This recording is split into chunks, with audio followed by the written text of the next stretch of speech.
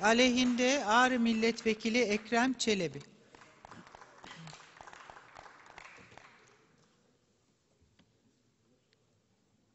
Buyurunuz Sayın Çelebi. Teşekkür ediyorum Sayın Başkanım. Sayın Başkan, değerli milletvekilleri, Milliyetçi Hareket Partisi'nin vermiş olduğu araştırma önergesinin aleyhinde söz almış bulunmaktayım. Bu vesileyle hepinizi saygıyla selamlıyorum. Benden önce bir konuşmacı arkadaş burada konuştu. Cumhuriyetin tehlikede olduğunu söylediler.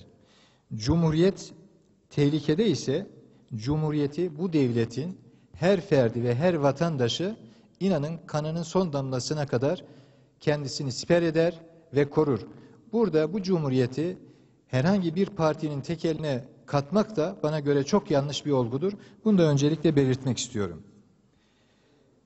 Sigortalı esnaf ve memurların emeklilik koşullarına ilişkin olarak 8-9-1990 tarihinde 4447 sayılı kanunla düzenleme yapılmış ve emekli olunabilmesi için belirli bir yaşa ulaşma şartı getirilmiştir.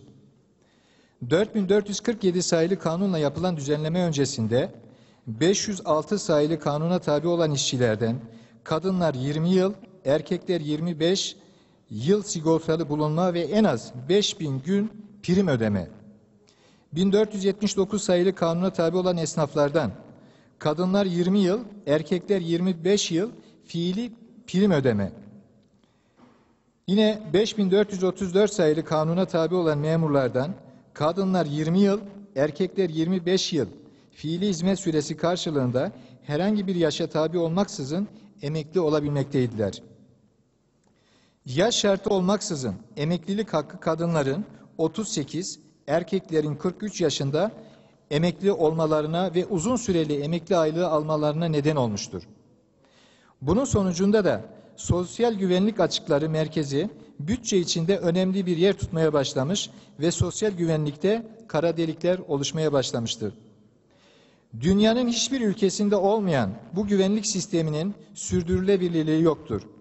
Sosyal güvenlik açıklarının kapatılması ve sürdürülebilir bir sosyal güvenlik sisteminin sağlanması bakımından 8-9-1999 tarihinde sonra ilk defa sigortalı olanlar için kadınlarda 58, erkeklerde 60 yaş şartı getirilmiştir. 1999 tarihinden önce sigortalılığı başlayanların ise kazanmış haklarının korunması açısından bu tarihte 18 yıl sigortalı bulunan kadınlar ile 23 yıl sigortalı bulunan erkeklerde yaştan muaf tutulmuş ve 18-23 yılın altında hizmeti olanlar ise hizmet süreleri esas almak suretiyle kademeli yaşa tabi tutulmuşlardır. Yine 4447 sayılı kanunla getirilen kademeli geçiş süreci adil, makul ve ölçülü olmadığı gerekçesiyle Anayasa Mahkemesi'nce iptal edilmiş ve iptal edilen hükümler Anayasa Mahkemesi'nin iptal gerekçeleri doğrultusunda yeniden düzenlenmiştir. Buna göre sigortalıların emeklilik yaşı 23.5.2002 tarihindeki hizmet sürelerine göre farklılaştırılmakta ve kadınların emeklilik yaşı 40 ile 58, erkeklerin emeklilik yaşı ise 44 ile 58 yaş baremine göre değişmektedir. Yapılan bu düzenleme sosyal güvenlik açıkları üzerinde beklenen olumlu etki yaratamamıştır. Bu nedenle sürdürülebilir bir sosyal güvenlik sistemi oluşturmak ve gelecek nesillerin emeklilik hakkını çalmamak adına yürürlüğe koyduğumuz sosyal güvenlik reformuyla uluslararası ölçekte bir sosyal güvenlik sistemini hayata geçirdik. Bu anlamda bu reformun etkisiyle birlikte sosyal güvenlik açıkları kontrol altına alınmış ve sistem sürdürülebilir bir noktaya getirilmiştir. Gelecek nesillere katlanılamaz bir sosyal güvenlik açığı bırakmamak, popülist yaklaşımlarla onların geleceklerini ellerinde almamak için emeklilik yaşı ile ilgili söylem ve eylemlerimizde çok dikkatli davranmak zorundayız. Bu nedenle emeklilik yaşının kaldırılarak erken emeklilik hakkı verilebilmesi sosyal güvenlik sisteminin aktüel dengelerini bozacak, sistemin vereceği açıklar da merkezi bütçe üzerinde çok ciddi baskılara neden olacağı aşikardır. Bunun sonucu olarak 13 yıldır uygulanmakta olan ve getirilen kademeli yaşı tamamladıktan sonra emekli olanları da göz önüne alarak erken emekliliği gündemimizden çıkarmamız ülke menfaatine olacağını düşünmekteyiz. Bu düşüncelerle Milliyetçi Hareket Partisi'nin vermiş olduğu araştırma önergesinin aleyhinde olacağımızı belirtir. Yüce Meclisi ve aziz milletimizi saygıyla selamlıyorum.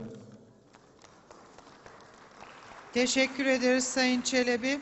Milliyetçi Hareket Partisi grubu önerisini oylarınıza sunuyorum. Kabul edenler, kabul etmeyenler, öneri kabul edilmemiştir. Sayın Atıcı, siz buyurunuz. Teşekkür ederim Sayın Başkan. Sayın Başkan, Türkiye yanıyor.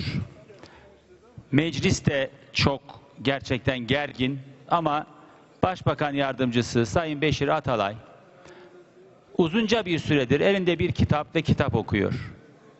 Şimdi muhalefet milletvekilleri konuşuyor, kitap okuyor. Kendi milletvekili konuşuyor, kitap okuyor. Bu nasıl bir ruh halidir? Hangi kitabı okuyor? Bu kitap Türkiye'nin kan ağlamasından daha mı önemlidir? Gerçekten utanç verici bir tablo diye düşünüyorum. Saygılar sunuyorum. Teşekkür ediyoruz Sayın Atıcı.